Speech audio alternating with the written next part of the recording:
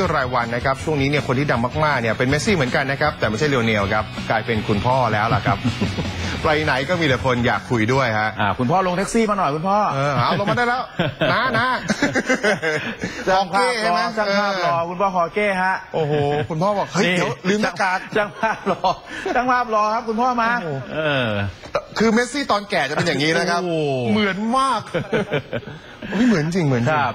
นะครับ โอ้โห เท่นะ อารมณ์แบบหน้าคล้ายๆ พวกแบบเดอ นีโรอะไรอย่างนี้เลยอะ เออหล่อหล่อหล่อครับนะครับผมก็นี่คือฮอร์เก้เมสซี่นะครับ ตามตำแหน่งเป็นเอเย่นต์ของเลโอเนลเมสซี่นะครับ แล้วก็ตำแหน่งที่ติดตัวมาตั้งแต่เกิด นั่นก็คือเป็นคุณพ่อของเมสซี่นะครับอืมตอนนี้ก็ไปเจรจาพูดคุยกับโจเซปบาร์โตเมวนะครับบอร์ดบริหาร ก็เขาบอกว่าคุยกันเครียดทีเดียวประมาณชั่วโมงครึ่งครับนะครับ แต่ผลออกมาเหมือนไม่ได้คุยฮะฮะนะครับ เพราะว่า ต่างคนต่างยืนหยัดในหลักการต่างคนต่างอยู่ในกรอบกำบังของตัวเอง นั่นก็คืออทางฝั่งเมสซี่บอกย้ายฟรีครับ ครับ ไม่อยู่แล้วครับ ครับ ก็ยังไงก็แล้วแต่ไม่อยู่อะอ่า เออ แต่จะย้ายอะ ฝากบาซ่าบาซ่าบอกจะย้ายใช่ไหมเออเจ็ดจะย้ายร้อยล้านยูโรจ้า เออ ก็ตามตัวเลขก็ครับสัญญาบอกว่ามัน ค่าฉีกอะเออ ก็สัญญามันบอกว่าเดือนมิถุนายนน่ะครับ นี่มันกันยาแล้วอยู่อืมจะอะไรแล้ว คุยกันคุยกันคนละ พื้นฐานของชุดข้อมูลคนละแบบ ครับ โดยที่มีเหมือนเป็นอ่าบทสัมภาษณ์สั้น ๆ นะฮะผู้สื่อข่าวถามพ่อครับพ่อครัเจบซี่ว่าไงครับเออพอคุณพ่อคอเก้บอก ผมผมต้องคุณต้องทำเสียงแบบไหนเป็นพ่อเขา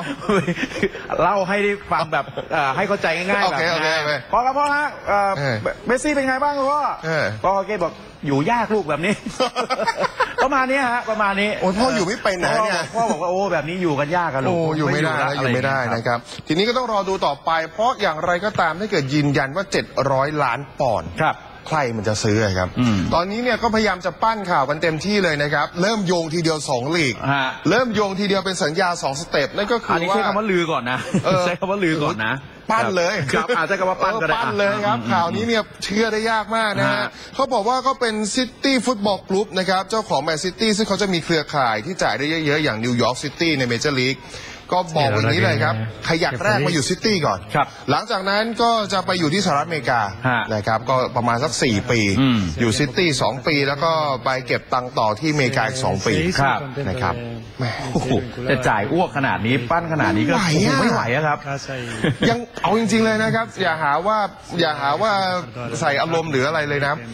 เป็นไปได้ยากมาก700ล้านปอนด์กับนักเตะอายุขนาดนี้ครับครับแทบจะเป็นไปไม่ได้ ส่วนบาร์ซ่าตอนนี้ก็เริ่มที่จะมองหาอนาคตต่อๆไปแล้วนะครับฮะแต่ว่าเริ่มมีเสียงอดกลัวจากนักกีฬาด้วยเหมือนกันอืมนั่นก็คือแฟรงกี้เดยองนะครับกองกลางชาวดัตช์ของสโมสรยอมรับว่าตอนนี้สถานการณ์เนี่ยไม่ค่อยดีเลยนะครับทีมเจอแต่เรื่องร้ายๆ ทั้งผลการแข่งขันที่ตกรอบ 8 ทีมสุดท้ายยูเอฟ่าแชมเปี้ยนส์ลีกแพ้กระจุยไป 2-8 นะครับความร้าวฉานภายในทีม แต่หวังว่าทุกอย่างเนี่ยจะคลี่คลายโดยเร็วนะครับครับนะครับผมอ่าการย้ายออกก็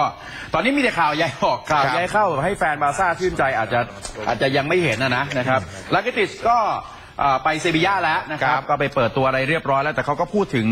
อ่าต้นสกัดเก่าของเขานะครับ ก็บอกบอกว่าขอบคุณสำหรับ 6 ปีที่ผ่านมานะครับ ทั้งเพื่อนร่วมทีมแล้วก็สโมสรด้วยนะครับ ก็บอกว่าไม่ว่านักเตะคนไหนก็อยากอยู่ที่นี่แหละครับนะครับประมาณนี้นะถือฮะว่าจากกันด้วยดีนะครับครับข้ามไปที่